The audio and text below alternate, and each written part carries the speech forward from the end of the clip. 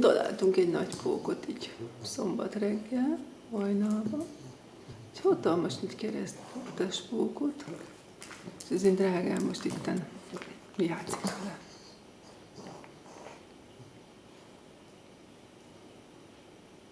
Ráközelítünk a vadállatra.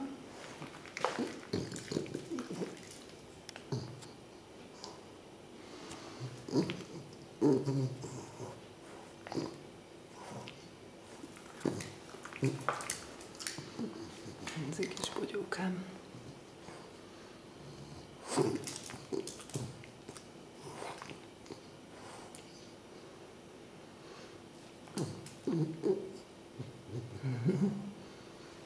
Kicsikém. Megy a pók, megy a pók. Bogyóka, megy a pók. Hú, szegényke, már összenyarostad.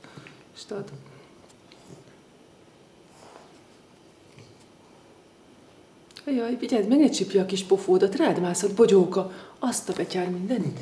Rámászott a bogyókára. Hú, ott van, jó van, jó van, bogyókától lejött. Jó van.